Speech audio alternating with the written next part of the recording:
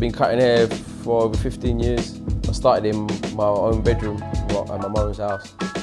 Um, I've always been crazy into boxing and I've always loved barbering. And so I, my idea had always been to, you know, mix it together and uh, have a, a barber shop, an old school style barber shop with all my boxing memorabilia everywhere because I've collected it from when I was a kid.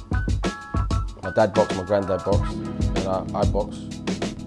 And we just boxing crazy at Champs, you know.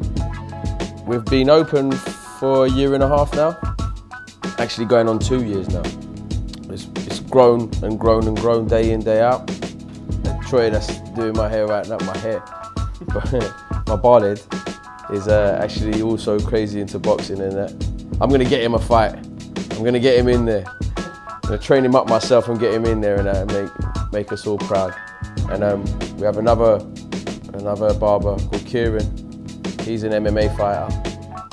And so um, only only champs at champs, you know. We're, we're over here in the centre of town, centre of London, right behind Nike Town.